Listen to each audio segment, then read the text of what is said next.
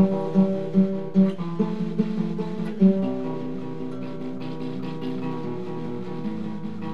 be lost in a forest, to be through a dread, begins right.